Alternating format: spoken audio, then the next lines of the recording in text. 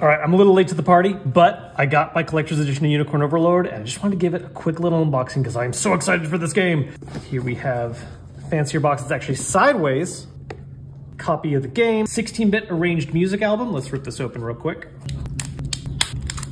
Little two disc setup. I need to find something that I can play CDs with. Got ourselves a little art book. I always feel a little mixed on these length ones because it just doesn't really fit on a shelf in a nice way. But that art do look really pretty. I love Vanillaware art. And then the most interesting part of this collector's edition, an actual fully playable card game. Got rules, little counters, Got a little sample play, layout, and oh my god, the cards are all over the place. There is a lot going on here with cards. Look, I think I'm actually gonna take some time to learn this and play a couple rounds, so if you wanna see how this is actually played, I think I'm gonna post that over on my side channel, Next Side Quest, so make sure to subscribe there and don't miss out.